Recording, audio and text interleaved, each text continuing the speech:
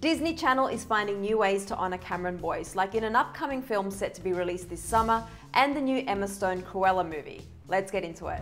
Fans remember that Cameron Boyce tragically passed away in July 2019 at only 20 years old. Cameron famously starred in all the Descendants films, including the third one that came out around a month after his death. In the movies, Cameron played Carlos, the son of Cruella de Vil, and now as the two year anniversary of his passing approaches, Disney has some special ways to honour him.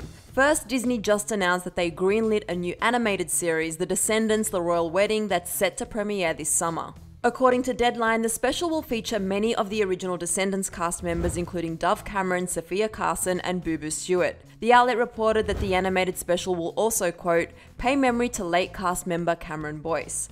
They noted that the absence of Cameron's character will also be acknowledged in the film. And in case you were curious, the royal wedding will be between Dove Cameron's character Mal and Mitchell Hope's character Ben. Disney TV's president and chief creative officer Gary Marsh told Deadline, quote, this animated royal wedding special that will bridge the audience to what we hope will be a new chapter of compelling descendant stories and characters yet to come. And in the teaser trailer for the film, Disney revealed that the movie comes out this summer. What a special way to honour Cameron. But that's not all. According to additional new reports, Disney will also be honouring Cameron in a subtle way in the upcoming Cruella movie.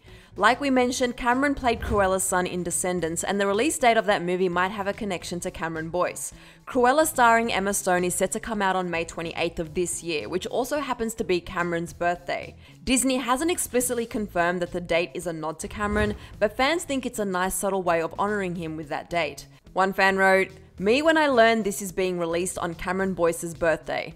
And this person said, I can't believe Cruella is being released on Cameron's birthday. What a special way to honor him. That's why. Love Disney.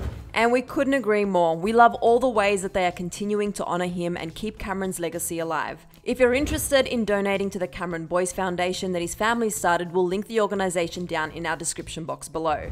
And we'll be keeping our eyes out this summer for more ways that Disney is honoring Cam. And for more on Cameron Boyce, click right over here for another Clevver video. Then be sure to let me know your thoughts on all the new ways Disney is honouring Cam in the comments section below. I'm your host, Sussan Mourad. You can find me on Instagram at Sussan underscore Mourad. I'll catch you later. Bye guys.